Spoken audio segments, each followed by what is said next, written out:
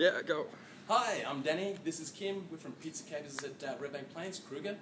Um, we'd like to say a very big thank you very much for everyone who voted for us, and uh, we appreciate your appreciation.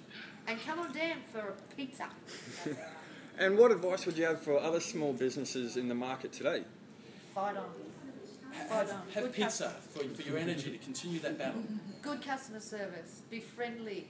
Interact with your customers. Absolutely.